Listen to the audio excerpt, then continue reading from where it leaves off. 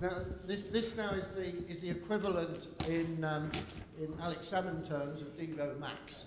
Um, the, the um, we've, we've had the for, we've had the against, and, and, and the third option is does it really matter? And to put, the third, put Devo Max forward, I'd like to introduce Rachel Roberts from the City and Guilds. Rachel. Right. In an ever-changing, complex, really competitive environment, um, where the margins for success are really, really narrow, um, the capabilities of our staff and how we nurture them are really, really important. Which kind of brings me to my point. Um, surely in that context, what's important, important is business effectiveness, not organisational turf wars. So really, it's important that L&D can be as effective as it needs to be rather than where it sits. It's important that it's allowed to evolve with business need.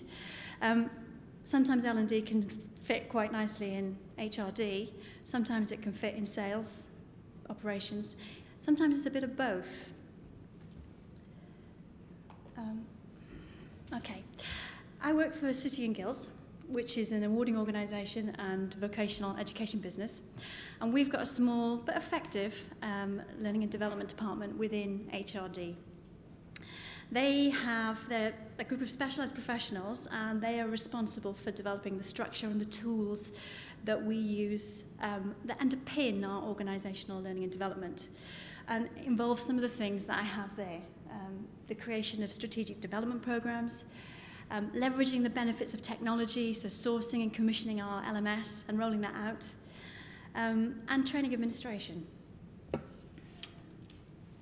Now, the work of L&D is essential. It provides an essential foundation to our organisational learning and development. But you can have the best LMS in the world and the best technology in the world, and you can have the widest range of courses, um, but it will have a limited impact if the, the business doesn't engage with it and it's not focused on business needs. It's only then that you get effective, sustainable learning that impacts on the individuals, their performance in their jobs, and ultimately the performance of the business. Now, in City and Guilds, making that happen involves many more stakeholders than just um, L&D, and many of those are located through the business. Um, okay. I, within City, I'm not an HR L&D professional. I work within the business in City and Guilds. I work within product development. Um, and our department is um, responsible for creating, the, it's the engine room, the production engine room. We create the assessments, the qualifications, the learning materials. We've got probably about 200 staff and most of those have got very they're very highly skilled, very um, highly specific technical skills. Um, and they have to evolve with a constantly changing external environment, the political environment and the academic educational environment. And last year we had a major restructure. Uh, and in reality, we figured that our small L&D team weren't close enough to us to be able to support that restructure.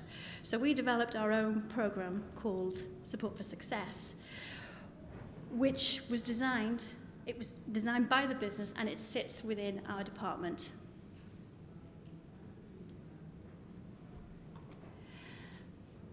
Oops, I go back a bit.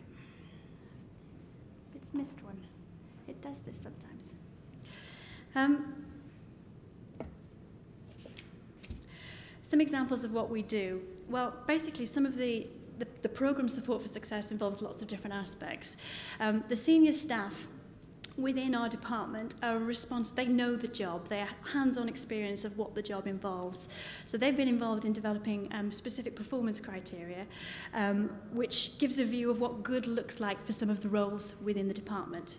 Um, and it gives a target for our staff and our line managers to work towards.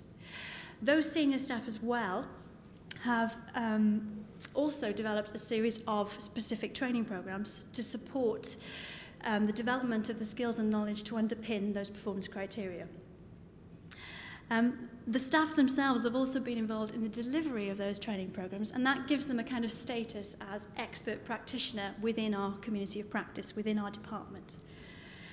Um, we also understand, I'm a learning, I'm an ex-teacher, so I've got an understanding of good pedagogy. So we understand the importance of um, how the learning goes on within our department and peer learning and social networks. So we've spent a lot of time encouraging the formal and informal knowledge sharing and um, learning networks, things like um, uh, best practice workshops all of our um, junior staff have a senior um, staff mentor that they can go to when they have advice.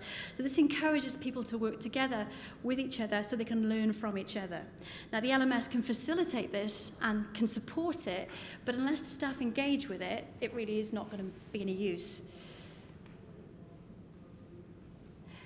Um, Another thing that we've done is that we understand that the line managers have a key role to play in building the capability of their staff. Now, halfway through the restructure last year, we understood that some of our new inexperienced managers struggled with that sort of building capability role that they had. So we developed within our department, not L&D, a specific program that focused on um, developing the skills that they would need to coach, to give performance feedback, um, and verbal recognition, to promote those skills that are important in a one-to-one.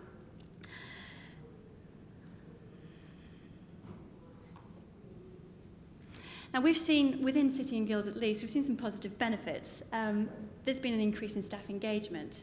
Um, across our department. We're just collecting data on this at the moment, but there seems initial feedback has been there's a, a positive effect on that area.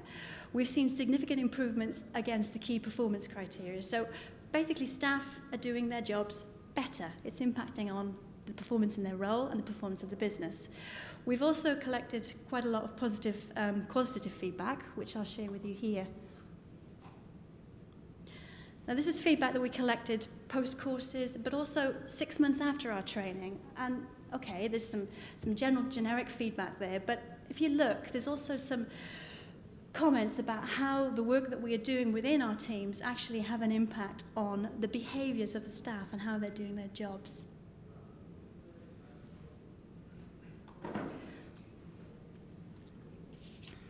And this returns me to my point. The work that we do is less about a few individuals in L&D, and it's more about developing a learning culture. Um, and it's having a real impact. Without support for success, we couldn't have supported our restructure. But this is not about me saying that we've done a great job. It's about saying that L&D happens in our organisation and it's effective. Business effectiveness, not where it sits. And this comes to my last point, is that perhaps we should just get rid of the term learning and development at least the name of the team, at least, because it kind of gives the impression that they've got responsibility for it.